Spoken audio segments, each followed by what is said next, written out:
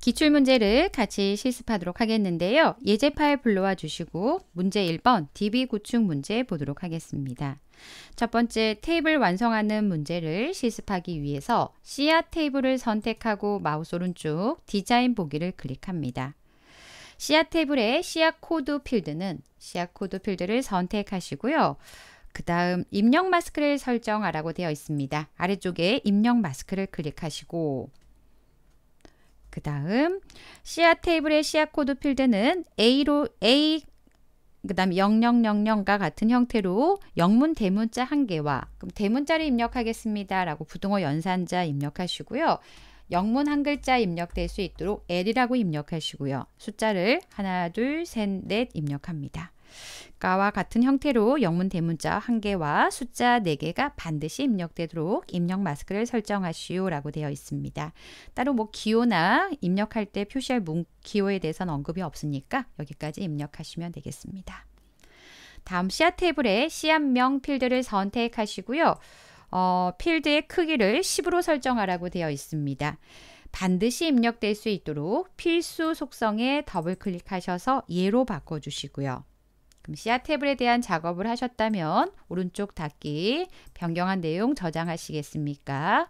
필드 크기를 어, 설정 10으로 바꿨기 때문에 메시지가 표시가 됩니다. 예 한번 누르시고요. 다시 한번 예 버튼 눌러주시면 되겠습니다.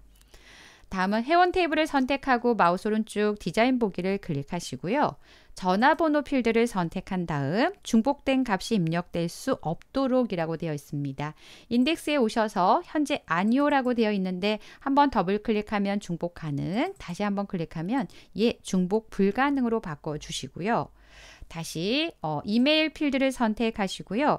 골뱅이 문자가 반드시 포함되도록 유효성 검사 규칙 커서 갖다 놓으시고 그 다음 라이크 연산자를 이용하셔서 앞뒤에 어떤 글자가 오더라도 골뱅이 기호를 포함하도록 설정하겠습니다. 라고 작성하시고 어, 확인 버튼 누릅니다. 다음은 현재 작업한 회원 테이블 오른쪽 닫기 변경한 내용 저장하시겠습니까? 예 누릅니다. 유효성 검사 규칙 설정하셨으니까 메시지 표시되고요. 예 한번 누릅니다.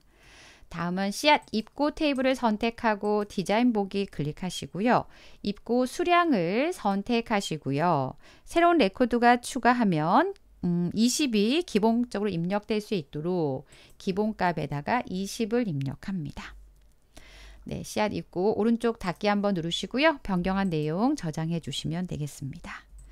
다음은 외부 데이터 클릭하셔서요. 새 데이터 원본의 파일에서 엑셀 데이터 파일을 가져옵니다. 그래서 오른쪽 엑셀 선택하시고 찾아보기 클릭하셔서 여러분이 자료실에서 다운로드 받으셨던 위치에 가셔서요. B2B 납품 선택하시고요. 확인 버튼, 열기 버튼 누릅니다. 그래서 테이블로 가져오실 거라서 확인 한번 누르시고요.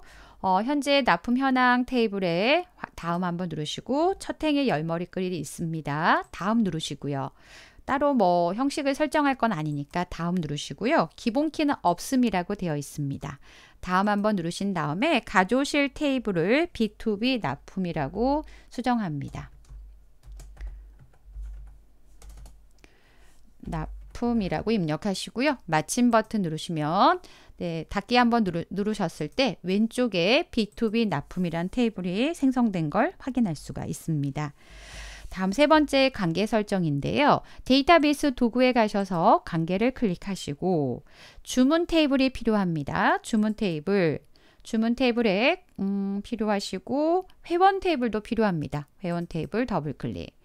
주문 테이블의 고객 아이디는 회원 테이블의 고객 아이디 필드를 그래서 회원 테이블의 고객 아이디를 주문 테이블의 고객 아이디로 드래그 하시고 두 테이블 간에는 항상 참조 무결성을 유지하겠습니다. 관련 필드 모두 업데이트 하겠습니다.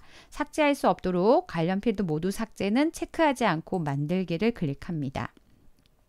다음은 주문 테이블의 씨앗 코드 필드는 씨앗 테이블의 주, 어, 씨앗 코드 필드를 참조한다 라고 되어 있으니까 씨앗 코드를 드래그 하시고 가, 마찬가지로 항상 참조 무결성 유지, 관련 필드 업데이트 체크하시고 만들기 클릭합니다. 관계 설정을 다 하셨다면 닫기 한번 누르시고요. 저장하시겠습니까? 예 눌러주시면 되겠습니다.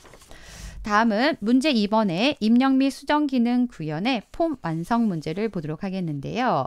씨앗 입구 현황 폼을 선택하고 마우스 오른쪽 디자인 보기를 클릭합니다. 폼 속성, 폼 보기에서 더블 클릭, 속성 시트에 형식에 오셔서 기본 보기는 현재 여러 레코드가 표시가 되어 있는 어, 연속 폼으로 선택해 주시고요. 다음 본문 영역에 대해서 탭의 순서를 어, 문제에 제시된 순서대로 배치하겠습니다. 라고요. 본문 선택하시고 양식 디자인의 탭 순서를 클릭합니다. 첫 번째 txt 판매 단가를 첫 번째다가 드래그 하셔서 배치하시고 두 번째 입고 단가를 선택하셔서 두 번째에다가 배치하시고 입고 수량을 선택하셔서 세 번째에다가 드래그 합니다. 판매 단가, 입고 단가, 입고 수량, 씨앗명을 선택하고 네 번째 씨앗 코드를 선택하셔서 다섯 번째 배치합니다. 입고 일자를 선택하셔서 네, 여섯 번째인가요? 에서 입고 일자 둘레 여섯 맞나요? 네. 그다음 상품 입고 번호 맞게 되어 있나 확인하시고 확인 한번 누릅니다. 다음은 폼 바닥글 영역에 현재 unbound 되어 있는 txt 총 입고 수량을 선택하시고요. 데이터 탭에 오셔서 컨트롤 원본에다가 입고 수량의 합계를 입력하겠습니다. 라고요. 등호 입력하시고 Sum이라고 입력하신 다음 입고 수량 필드에 합계를 구해서 표시하겠습니다. 라고 확인 버튼 누르시면 되겠습니다. 현재 작업하는 씨앗 입고 현황 폼의 본문 영역에 대해서 본문의 모든 컨트롤을 선택할 수 있도록 왼쪽에서 선택하신 다음 그 다음 어, 서식에 가셔서 조건부 서식을 클릭합니다. 새 규칙을 클릭하시고요. 음, 본문 음, 입고 수량이 50 이상이라고 되어 있으니까요. 식을 이용하셔서 입고 수량이 그거나 같다 50이라고 입력하시고요. 이 조건에 만족하면 굵게 하겠습니다. 그 다음에 밑줄 클릭합니다. 굵게 밑줄 확인 한번 누르시고요. 다시 한번 확인 버튼 눌러주시면 되겠습니다. 현재 작업한 폼을 저장 한번 하시고요. 어, 양식 디자인에 폼 보기 클릭하셔서 여러분이 작성한 내용 제시된 그림과 비교해 보시면 되겠습니다. 오른쪽 닫기 버튼 다음은 세 번째 씨앗 정보 찾기 폼을 선택하고 마우스 오른쪽 디자인 보기 클릭하시고요. 어, 보고서 단추를 클릭하면요. 음, 씨앗 코드별 주문 현황 보고서를 인쇄 미리 보기 형태로 여는 매크로를 생성해서 연결하라고 되어 있습니다. 그래서 이벤트에 가서 클릭하면 라고 매크로를 선택할 건데요. 만들기 가시면요. 매크로라고 있고요. 저희는 보고서를 열겠습니다. 라고 OpenReport를 선택하고 보고서의 이름은 씨앗 코드별 주문 현황이라고 선택하시고 인쇄 미리 보기 하겠습니다. 라고 선택하신 다음 Where 조건문의 조건을 좀 작성하실 건데요. 씨앗 코드의 필드 값이 씨앗 txt 씨앗 코드에 해당한 씨앗 정보만 표시하시오 라고 되어 있습니다. 그래서 씨앗 코드가 같습니까? 현재 작업하는 폼에 가서 모든 폼에 어, 씨앗 정보 찾기 폼에 txt 씨앗 코드와 동일한 데이터를 인쇄 미리 보기, 보고서를 인쇄 미리 보기 하겠습니다. 라고 작성하시고요. 현재 작업한 매크로를 저장 클릭하셔서 매크로 이름을 보고서 출력이라고 저장합니다. 보고서 출력. 이제 매크로 창을 닫아 주시고요. 보고서를 클릭하면 조금 전에 만드셨던 보고서 출력 매크로를 실행하겠습니다. 라고 원클릭에 연결해 주시면 되겠습니다. 작업한 내용 오른쪽 닫기 한번 누르시고요. 변경한 내용 저장하시겠습니까? 예 눌러주시면 되겠습니다. 다음은 음, 문제 3번 조회 및 출력, 출력 기능 구현을 보도록 하겠는데요. 씨앗 코드별 주문 현황 보고서를 선택하고 마우스 오른쪽 디자인 보기를 클릭합니다. 첫 번째 씨앗 코드 머리글 영역에서 씨앗 코드 머리글을 선택하시고 머리글의 내용이 페이지마다 반복적으로 형식 탭에 오셔서 반복 실행 구역에서 더블 클릭하셔서 예로 바꿔주시고 그 다음 씨앗 코드가 변경되면 매 구역 전에 페이지도 변경될 수 있도록 페이지 바꿈에서 구역 전을 선택합니다. 다음은 어, 동일한 씨앗 코드 지금 씨앗 코드를 가지고 오름차순 정렬되어 있는데 정렬을 추가하셔서요. 주문 일자를 가지고 오름차순 하겠습니다. 라고 정렬을 추가합니다.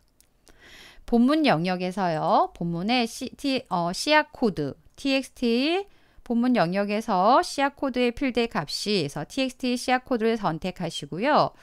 어, 이전 레코드와 동일한 경우에는 형식에 가셔서 중복 내용 숨기기라고 하시면 어, 예로 해주시면 이전 레코드와 동일한 경우에는 표시되지 않도록 설정할 수가 있습니다. 다음은 본문 영역에 본문을 선택하시고 배경 색깔에 오셔서 배경 색깔을 현재 색깔을 교차 행으로 변경하라고 되어 있습니다. 다음은 음, 씨앗 코드 바닥글 영역에 현재 unbound 되어 있는 txt 주문 횟수 컨트롤에 대해서요. 데이터 탭의 컨트롤 원본에다가 전체 레코드 수를 표시한 다음 회자를 붙여서 표시하겠습니다. 라고요. 등호 입력하셔서 개수를 구하겠습니다. 카운트 입력하시고 ampersand 연산자 회라고 입력해 주시면 되겠습니다. 확인 버튼 눌러주시고 저장 한번 클릭하신 다음 인쇄 미리 보기 하셔서 작성한 내용 확인해 보시면 되겠습니다. 인쇄 미리 보기 닫기 현재 작업한 보고서 닫기 버튼 누릅니다. 다음은 주문 현황 폼을 선택하시고요. 마우스 오른쪽 디자인 보기 클릭합니다. Txt 수량이라고 되어 있는 본문의 수량 컨트롤을 선택하시고요. 이벤트 탭에 오시면 컨트롤의 포커스가 이동하면 이라고 되어 있습니다. On Got Focus에다가 이벤트 프로시저를 작성하겠습니다. 점점점 작성기를 클릭합니다. 그래서 다음과 그림과 같은 메시지 상자를 출력하는 이벤트 프로시저를 구현하시오라고 되어 있고요. txt 수량 컨트롤에 표시된 값이 10 이상이면 if 만약에요. txt 수량의 값이 크거나 같다 10보다 크거나 같다면 then이라고 입력하시고요. 수, 어, 수량에서 숫자가 좀 빠졌네요. 수 수량이면 10 이상이면 저희는 메시지 박스를 표시하겠습니다. 표시하실 문구는 인기 품종이라고 입력할 건데요. 아, 살짝 지금 오류가 또 나네요. 인, 그 다음에 기, 품, 종이라고 입력하고요. 그 다음 그냥 기본값이니까 생략이 가능합니다. 심표 누르시고 위쪽에 표시할 어, 메시지 상자의 타이틀은 인기도 인기도 분석이라고 표시하겠습니다. 라고 타이틀을 작성해 주시면 되겠고요. 그 다음 10보다 크거나 같지 않다면 복사해서 컨트롤 C, 컨트롤 V 하도록 하겠고요. 그렇지 않다면 else if txt 수량이 6보다 크거나 같습니까? 6이라고 수정하시고요. 그렇다면 보통 품종이라고 인기 대신에 보통으로 수정하겠습니다. 보 보통 품종이라고 하실 거고요. 나머지 타이틀명은 동일하고요. 그렇지 않다면 else라고 입력하시고 표시할 문구 메시지 박스에다가 저희는 비인기 품종이라고 하겠습니다.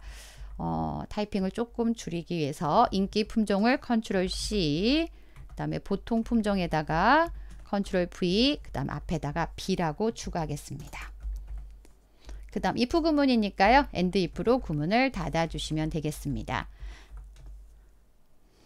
그래서 포커스가 갔을 때 어, 수량에 따라서 메시지 상자를 이렇게 표시하겠습니다. 라고 작성을 하셨고요. 그 다음 저장 한번 클릭하시고요. 폰보기 가셔서 수량에다가 마우스 클릭하면 이렇게 메시지 상자가 표시가 되는지 확인해 보시면 되겠습니다. 그래서 문제 3번 조회 및 출력 기능 구현 살펴보셨고 다음은 문제 4번의 처리 기능 구현 문제 보도록 하겠습니다. 쿼리를 작성하기 위해서 만들기에 쿼리 디자인 클릭하시고 그 다음 오른쪽 링크 어, 테이블 추가에 주, 어, 주문 정보 쿼리를 추가하시고 다음은 음, 표시할 필드는 이름과 주문 일자와 수량을 더블 클릭합니다. 씨앗명을 가지고 조건은 어, 표시하지 않겠다 체크 해제하시고요. 씨앗명이 치커리라고 조건을 입력하시고요. 치커리에 해당한 씨앗명에 이름, 주문일자, 수량을 어, 이름을 기준으로 오름차순해서 표시하겠습니다. 라고 정렬 선택하시고요. 저장을 한번 클릭할까요? 치커리 조회라고 입력하시고요. 치커리 조회 입력하시고 확인 결과를 살짝 보시면 전체 레코드가 6개 제시된 이미지와 실습한 내용을 비교해 보시면 되겠습니다. 오른쪽 닫기 예 버튼 누르시면 되겠습니다. 어, 다음은 두 번째 쿼리를 작성하도록 하겠는데요. 만들기 가셔서 쿼리 디자인, 음, 씨앗, 그 다음에 주문, 회원 더블 클릭합니다. 그 다음 표시하실 내용을 보도록 하겠는데요.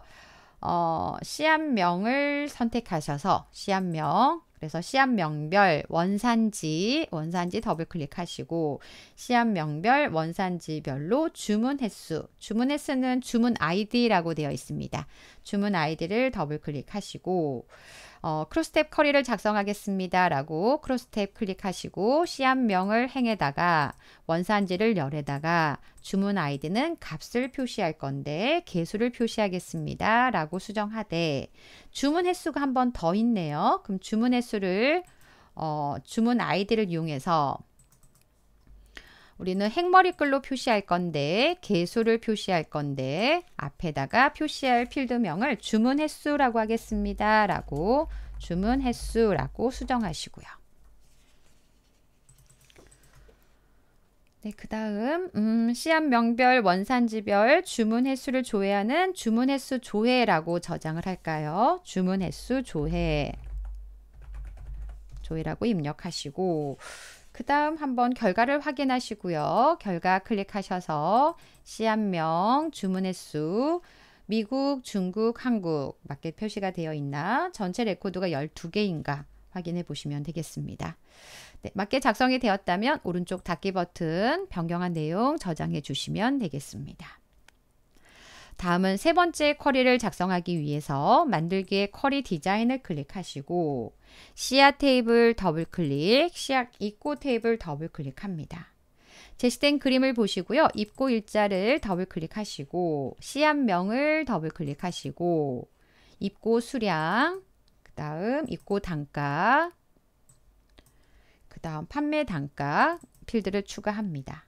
다음은 부가세라고 되어 있는 필드는 이제 문제에 나와 있는 입고 단가가 3만 이하이면 이라고 되어 있는데요. 직접 작성해서 부가세 필드를 만듭니다. 부가세 필드는 IIF 입고 단가가 작거나 같다. 3만이라고 입력하시고요. 그렇다면 어, 판매 단가 곱하기 0.1 그렇지 않다면 판매 단가 곱하기 0.2라고 입력합니다. 부가세는. 그래서 3만 이하이면 판매 단가의 10%, 그 외는 판매 단가 20%로 계산하시오. IIF, if 함수 사용하셨고요.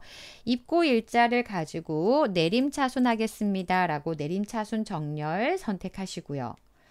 그 다음 어, 씨앗과 씨앗 있고 테이블을 이용하여 검색할 씨앗명의 일부를 그럼 씨앗명에다가 조건이 필요하네요. 일부를 입력받는다. 그럼 라이크 연산자 이용하셔서요. 어, 라이크 앞뒤에 어떤 글자가 와도 매개 변수에 입력된 글자를 포함한이라고 조건을 작성합니다. 그래서 별표 앞뒤에 맞는 문자 넣어주시고요.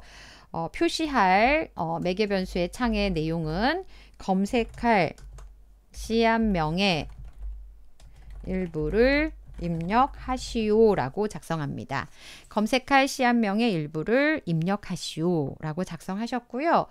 현재 작성한 쿼리에 대해서 음, 저장 한번 할까요? 씨앗 입고 조회라고요.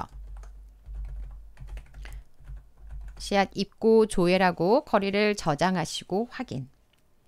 다음은 결과를 살짝 확인해 보시면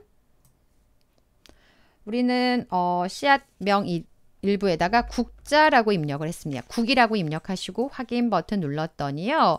어, 국자가 포함된 시합명은 두 개가 있습니다. 라고 표시가 되어 있고요. 어, 현재 음, 제시된 결과와 그 다음 실습한 화면에서 조금 다른 부분이 있어요. 어떤 부분이냐면 입고 단가, 입고 수량과 입고 단가, 판매 단가에서 이 단가 부분의 기호가 통합 기호가 표시가 되어 있습니다. 그래서 이 부분을 좀 수정하도록 하겠습니다.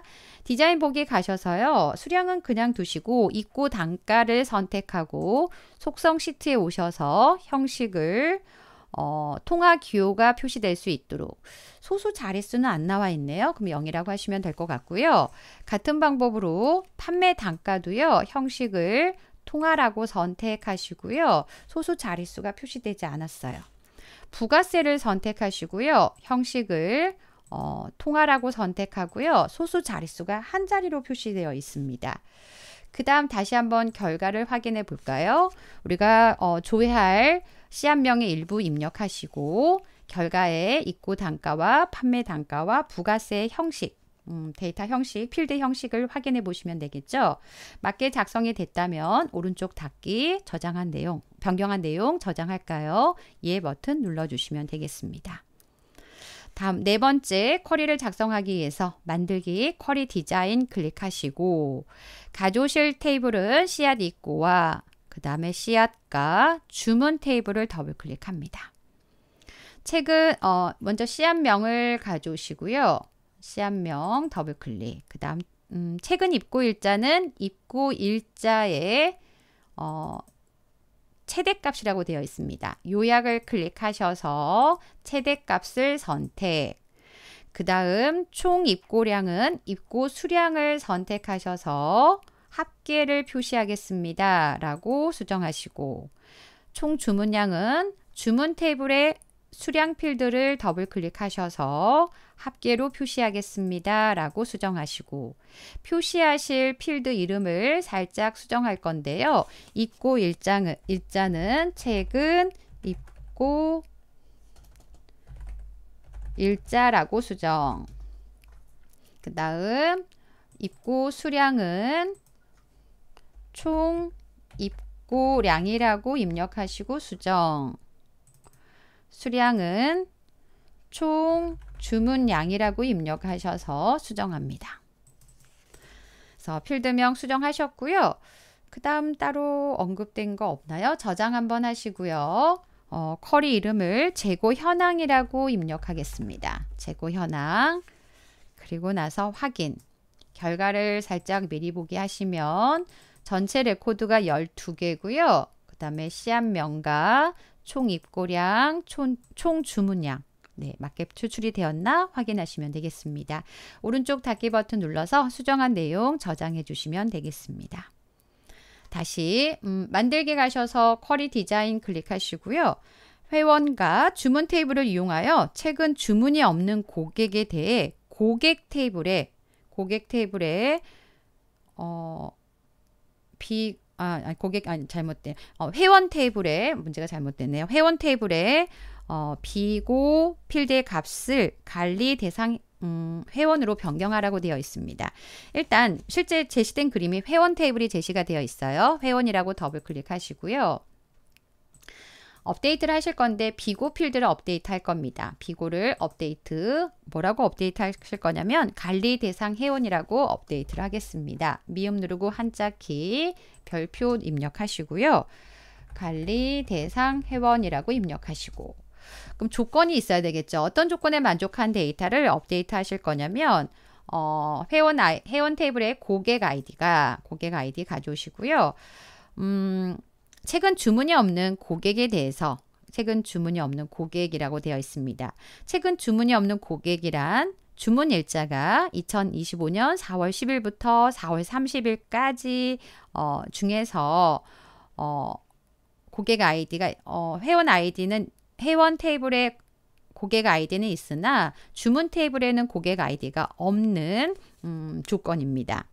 그래서 내용 조건을 작성하기 위해서 없다라고 되어 있으니까 not in이라고 되어 있습니다. not in이라고 작성하시고 하위 쿼리를 작성하기 위해서 select 고객 아이디가 from 어느 테이블에 가셔서 주문 테이블에 가셔서 그 다음 어, 조건이 있습니다. where이라고 조건을 주시고요. 주문 일자가요. 주문 일자가 between이라고 입력하시고 날짜이기 때문에 샵을 이용해서 2025년 4월 1일이라고 다시 날짜 앞뒤에 샵을 작성해 주시고 and 다시 샵을 입력하셔서 2025년 4월 30일이란 날짜를 입력하시고요. 그 다음에 가로 닫고 그래서 날짜 2025년 4월 1일부터 4월 30일 안에 있는 음, 고객 아이디를 찾았는데 없는 데이터를 우리는 관리 대상 회원이라고 어, 업데이트 하겠습니다. 라고 작성하시고요. 그리고 나서 저장 한번 클릭하시고요.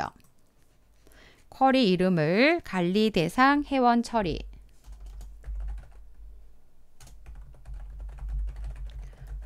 관리 대상 회원 처리라고 입력하시고 확인. 그리고 나서 실행하시면 두 개 행을 새로 고침했습니다. 이해 버튼 눌러주시고요. 오른쪽 닫기. 그 다음에 우리는 음, 회원 테이블에 가서 비고란에 관리 대상 회원이라고 표시된 레코드가 두 개 있는 걸 확인해 보시면 되겠습니다. 그래서 오른쪽 닫기 버튼 눌러주시고 변경한 내용 저장하시겠습니까? 예 눌러주시면 되겠습니다.